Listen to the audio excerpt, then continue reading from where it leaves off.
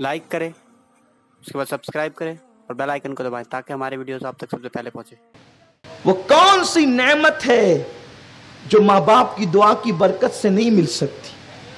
ارے، جن کی دعا سے خدا مل جاتا ہے، ان کی دعا سے کیا نہیں مل سکتا؟ آج لوگ اس معاملے میں بڑے کمزور واقع ہوئے ہیں۔ ایک حدیث مبارکہ ذہن میں آتی ہے، ایک صحابی تھے ان کی موت کا وقت قریب آیا تو ان کی زبان پر کلمہ جاری نہیں ہو رہا تھا۔ اور صحابی کا مطلب آپ اچھی طرح جانتے ہیں کہ نبیوں کے بعد مخلوق میں سب سے اعلیٰ ترین مخلوق کو صحابی کہتے ہیں۔ اس لیے کہ انہوں نے اپنے ماتھے کی آنکھوں سے حضور سید عالم کا دیدار کیا ہوتا ہے۔ جس نے آقا کو ایک نظر دیکھا، جس مسلمان نے دیکھا، انہیں ایک نظر، اس نظر کی بسارت پہ لاکھوں سلام۔ آقا کو ایک نظر جس نے دیکھ لیا، ایمان کی حالت میں، اور ایمان کی حالت میں وہ دنیا سے چلا گیا، وہ صحابی۔ اب کوئی گوس کتب ابدال ان کے مرتبے کو نہیں پہنچ سکتے۔ اتنا بڑا مرتبہ ہے صحابہ کا۔ لیکن صحابی کو مرتبہ کیوں ملا؟ بس حضور کی زیارت سے۔ کعبہ تو قیامت تک سبھی دیکھیں گے، نمازیں تو قیامت تک سبھی پڑھیں گے، وقت آئے گا تو جہاد سبھی کریں گے۔ لیکن حضور کا دیدار اب کسے نصیب ہوگا۔ عالم بیداری میں جنہوں نے حضور کی ظاہری حیات میں آقا کا دیدار کیا، وہ صحابی ہو گئے۔ یہی تو ہم لوگوں کو سمجھانا چاہتے ہیں۔ لوگوں جب صحابی نے حضور کو دیکھ کر کے مقام صحابیت پا لیا، تو اب کوئی گوس اور ابدال بھی ان کی طرح نہیں ہو سکتا۔ تو کوئی پان دکان والا اور لوم چلانے والا مصطفیٰ جان رحمت کی طرح کیسے ہو سکتا ہے؟ بات تو سمجھنے کی ہے۔ آپ عظمت صحابہ کی بات کرتے ہیں، لیکن عظمت صحابہ کو عظمت ملی کس وجہ سے؟ ارے وہ تو عرب کے بدو تھے، بوریا نشین تھے۔ وہ تو نمک اور کافور میں فرق نہیں کر پا رہے تھے، بلکہ انہیں خدا کا پتہ بھی نہیں معلوم تھا۔ لا تو حبل کے آگے سر سجدے میں رکھ رہے تھے۔ لا تو حبل کے پجاریوں کو جس نے مقام صحابیت عطا کیا، وہ دیدار مصطفیٰ ہے، وہ زیارت مصطفیٰ ہے، وہ دامن مصطفیٰ ہے۔ اب جس کی نالین کے صدقے سب کچھ ملا صحابہ کو، اب ان جیسا کوئی نہیں ہو سکتا۔ تو اس نال والے مصطفیٰ کی شان کا عالم کیا ہوگا؟ مصطفیٰ کریم کا مرتبہ اور مقام کیا ہوگا؟ لیکن یہ ایک الگ عنوان ہے، صحابہ کی عظمت کیا ہے؟ اور صحابہ تھے ہی بڑے عظمت والے، کیونکہ جب انہوں نے بتوں کی پوجا سے توبہ کی اور مصطفیٰ جان رحمت کے کہنے پر اللہ کو ایک مانا، تو پھر اتنے مضبوط توحیدی ہوئے، اتنے مضبوط توحیدی ہوئے کہ پھر زمانہ ان کے آگے جھکا، وہ کسی کے آگے نہیں جھکے۔ دنیا نے ان کے قدموں میں سر رکھا، انہوں نے پھر کہیں سر نہیں رکھے۔ صحابی ہیں اور موت کے وقت کلمہ زبان پہ نہیں آتا۔ صحابہ کو جب کوئی مصیبت درپیش ہوتی تھی، تو وہ اپنے مشکل کشا مصطفیٰ جان رحمت کی بارگاہ میں حاضر ہوتے تھے۔ اس لیے کہ صحابہ نبی کو مشکل کشا سمجھتے تھے۔ مشکل کشا کسے کہتے ہیں؟ جو مشکل کو دور کر دے وہ مشکل کشا ہے۔ جو مشکل دور کرے وہ مشکل کشا ہے۔ اب بتائیں، کفر سے بڑی بھی کوئی مشکل ہے؟ کفر سے بڑی بھی کوئی مشکل ہے؟ ارے، جس نے کفر کی مشکل کو دور کر کے ایمان کی آسانی عطا کر دی، اب اس سے بڑا مخلوق میں مشکل کشا کون ہو سکتا ہے؟ اب آپ کو شک ہے کہ اللہ بھی مشکل کشا ہے۔ پھر اللہ کے نبی بھی مشکل کشا کیسے ہو سکتے ہیں؟ یہی تو بات سمجھنے کی ہے۔ اللہ بغیر کسی کی عطا کے مشکل کشا ہے۔ وہ خود سے مشکل کشا ہے۔ اس کو کسی نے بنایا نہیں۔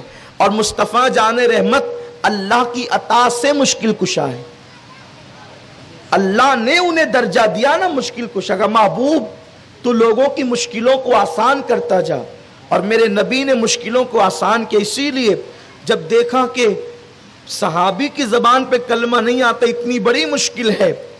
تو دوڑے دوڑے پہنچ گئے اپنے مشکل کشا کی بارگاہ میں۔ اور جب اپنے مشکل کشا کی بارگاہ میں پہنچے، تو عرض کیا، یا رسول اللہ، وہ فلانے ہیں، ان کی زبان پہ کلمہ نہیں آتا اور موت اور زندگی کے درمیان ہے وہ۔ تو دیکھو، اللہ نے جسے مشکل کشا بنایا، پھر اس کی ڈگری کتنی بلند کی۔ پھر ان کو علم غیب بھی عطا کیا۔ اس لیے کہ ڈاکٹر کو پتا ہوتا ہے کہ میرے پاس جو مریض آیا ہے، اس کا مرض کیا ہے۔ جس ڈاکٹر کو پتا ہی نہ ہو کہ مریض کا مرض کیا ہے، وہ علاج کیا کرے گا؟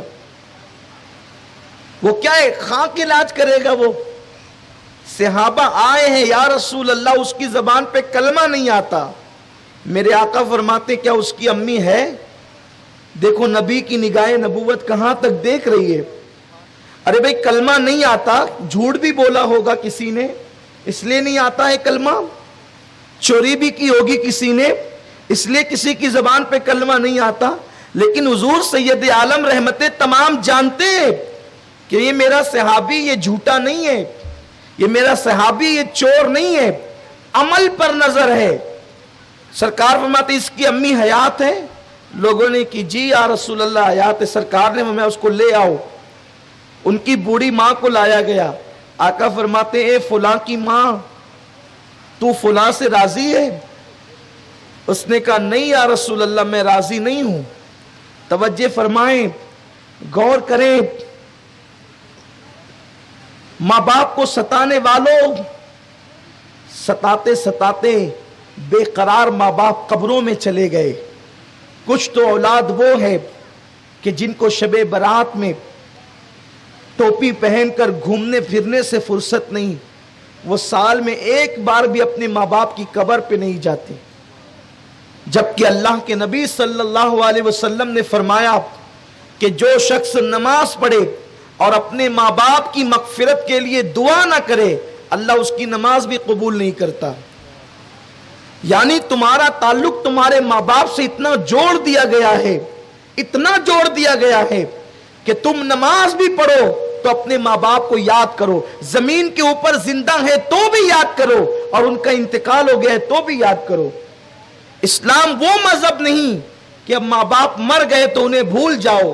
وہ کھاک چاٹتے رہے اور تم ایش کرتے رہو۔ نہیں، اللہ کے رسول صلی اللہ علیہ وسلم نے سب کے حقوق عطا کیے ہیں۔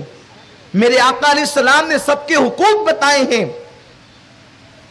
سرکار فرماتے اے فلاں کی ماں، کیا تو فلاں سے راضی ہے؟ اس نے عرض کی، نہیں یا رسول اللہ، اس نے میرا بہت دل دکھایا ہے، اس لیے میں اس سے راضی نہیں ہوں۔ آقا فرماتے ہیں، بلال، یہی وجہ ہے کہ ان کی زبان پہ کلمہ نہیں آتا۔ آپ نے فرمایا، معاف کر دے اپنے بیٹے کو۔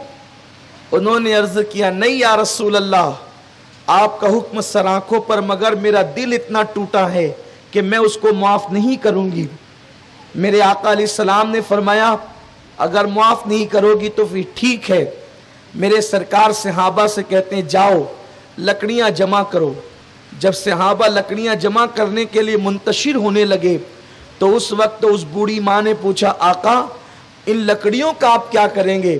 میرے سرکار نے فرمایا، تو فلاں کو معاف نہیں کرتی، اس لیے میں لکڑیاں جمع کر کے اس میں آگ لگا دوں گا اور تیرے بیٹے کو زندہ جلا دوں گا۔ اس نے عرض کیا، یا رسول اللہ، میرے بیٹے کے ساتھ آپ ایسا نہ کریں۔ آخر ماں تھی، ماں کی ممتا تڑپ گئی۔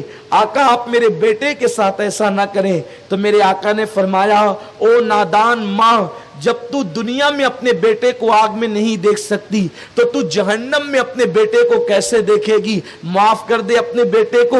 اس نے عرض کیا، آقا، آپ گواہ رہنا، میں نے اس کو آپ کی خاطر معاف کر دیا۔ ادھر ماں نے کہا، میں نے آپ کی خاطر معاف کر دیا۔ ادھر ایک صحابی دوڑتے ہوئے آئے، عرض کیا، یا رسول اللہ، اب ان کی زبان پہ کلمہ طیبہ جاری ہو گیا ہے اور وہ کلمہ پڑھ رہے ہیں۔ میرے پیارے آقا علیہ السلام کے پیارے دیوانوں آپ مجھے بتائیں تو اگر صحابی کی وجہ سے ماں کا دل دکھے تو مرتے وقت زبان پہ کلمہ نہیں آتا آپ اور ہم کس کھیت کی مولی ہے ہماری حیثیت کیا ہے؟ ہم نے تو اپنے آپ کو بہت زیادہ دیندار سمجھا۔ ہم نے اب تو اپنے آپ کو بڑا نمازی سمجھا، بڑا حاجی سمجھا، بڑا پریزگار سمجھا۔ لیکن مجھے بتاؤ، آج ہمارے ماں باپ ہم سے کتنے راضی ہیں؟ اگر تم اپنے ماں باپ کو راضی کر لو، فقیر قادری آپ کی بارگاہ میں اعلان کرتا ہے۔ حدیث کی روشنی میں انشاءاللہ کبھی تم پر مصیبت نہیں آئے گی، کبھی تم پریشانی میں مبتلا نہیں رہو گے۔